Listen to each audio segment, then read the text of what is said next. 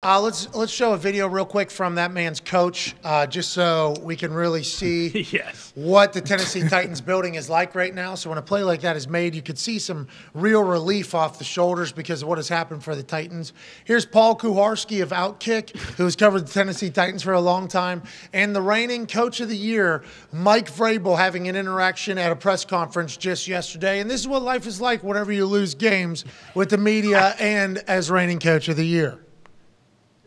Having that conversation about not making the big mistakes uh, and things like that for a couple weeks now. The offense goes out and you get a penalty from one of your key guys on the on the first series, end up in second and 22 or whatever.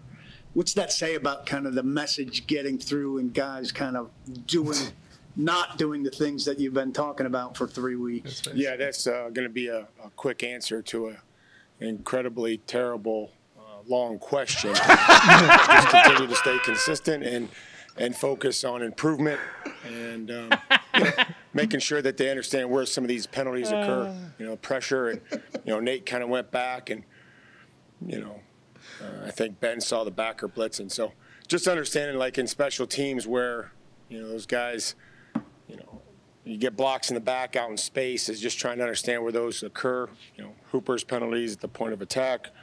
You know, it's, you know, those are things that set you behind. Yeah, dude, I love it. As he's Unreal. asking a question, Vrabel knows Paul. Paul's been there since before Vrabel has become the head coach. The tone of the question, you could see Vrabel just being like, "What's this guy accusing me of right here in the middle of this thing?" Uh, I'm gonna give you a quick answer. It turns out to a long answer. Yeah. turns out to be a great answer. And I don't know if he meant to say terrible long question or terribly long question. He says terrible long Yeah. question, so he dunks on him at the moment. Yeah. I fucking love Vrabes, dude. Love Paul. Sat in the pocket, asked his question. Obviously, the tone of the question is certainly fascinating with the reigning coach of the year acting as if he's lost the locker room, kind of is what he was hinting at. Oh, yeah. And then Vrabel fucking coming back. I love I enjoy this type of stuff, AJ. Yeah, it's always the tone of the question. I think it's not really what is asked. It's always kind of like you could tell the tone of it. And yeah, they're- everyone's getting paid a lot of money in the NFL, coaches, players, all that. They can handle whatever. But yeah, they're also humans. They're allowed to get frustrated and pissed off at questions. Oh yeah, we were talking about that yesterday with the Giovani Bernard thing, where it was Mm-hmm. like, "What what have you done us warrant a conversation with me?" talked. That was the That was tone. Greg Auman quote tweeted and said that he wishes he would have handled that in a different fashion in the way it was and everything like that. So we appreciate him. Gio's a great dude. I played with Gio. Sorry to cut you off. Gio, like you can hear him speaking in that term. Like he, like yeah, Gio's a team dude, and he was genuinely like surprised. Like wow, what, what's happening here, man? Like I thought we were thought we were good. you suck at football. It was kind of what was it was the tone in which it was being asked. Obviously, he knows that he was in the middle of a terrible play and he fucked up and he owned that. But like, also he's been in the NFL more than ten years. Noted good guy. Like Yeah. you're in his locker room too. Not, we need the media. Media is needed, but also not objects, humans. And I think you can get much better answers out of people if you treat them that way. This happened in Buffalo with Josh Allen at a press conference just yesterday. This is seem, or last week. This is seemingly all starting to happen now. Like, listen to the tone in the words that are said from a credentialed media person, and we. I don't know if we know the name or not. Don't want to out them. They're, like whatever the case is, I'm sure this isn't like their finest moment.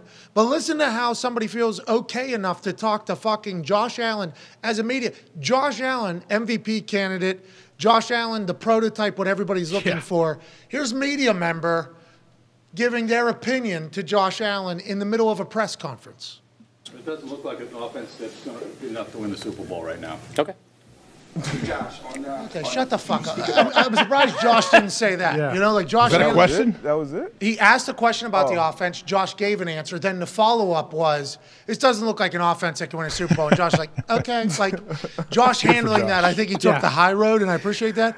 But just the thought that I, I should say this to Josh Allen, the one of the best football players in the world By far. who is the captain of the offense. Like, just that sort of entitlement to even think you should say that, I find amazing. And uh, I appreciate it. But with the Gio situation, with this situation, with the Josh Allen, with the Vrabel situation, it's like, hey, we all got to remember we're in this together. And also, not objects, not on internet, human in person interaction. Let's have a little respect for each other. You know what I mean? Like let's let's have a little Both bit of res- yeah, exactly. It goes both ways, you're right. Both You ways. Build up the player. Talk about the good things. You know, to say you don't think they can win an offense, even if or a Super Bowl, even if that's what your opinion is. And also, I think we can all you know revel in the fact that Sal Capaccio had that guy's tongue, you know, taken out of his body. So I'm not. I don't think we're we'll hear from that guy anymore. Um, I've never played football in my life. I have no idea, but you don't have an offense that could win a Super Bowl. Josh fucking Allen. yes. Okay. Okay. All right. Like that is wild. That was crazy. It is. I, isn't w- it? I would like to hear the first part of that question too, but for him to end it like that, yeah, this offense can't win. I don't, I don't see it. In Buffalo. Thanks, pal. Yeah. Thank you. Thank you so. Do you want to drop some fucking plays for us, dude? Like, Okay, what team in Buffalo over the last 30 years? Or excuse me, 22 since in the 90s they had those teams. no, it's not just. But I'm sure there's more. Sure. Yeah. And we're getting to the time of the year. Everybody's tired, right? It's the end of the mm-hmm. year. We've been a part of the grind. Sure. But let's just remember humans here, okay? Both ways. Yep. Humans, let's go ahead and try our best here. We don't have to seek out quotes from people that never made it in the NFL to bury mm-hmm. people. You know? Josh Allen's, you know, he hurt his throwing elbow. Probably won't be completely healthy till the end of the season. And with that elbow, you won't be able to win a Super Bowl. You stink. Okay. Thanks. That was a wild thing in Yeah. a press conference. to the one seed quarterback. It's not like they're a wild card team. They're the one seed in the AFC. He could have just What are we phrased it as a talking question. Why didn't he just ask the question instead of Do saying you your think- offense stinks? Exactly. Do you think this offense can win a Super Bowl? That's all you had to say. And maybe that's what he meant to do.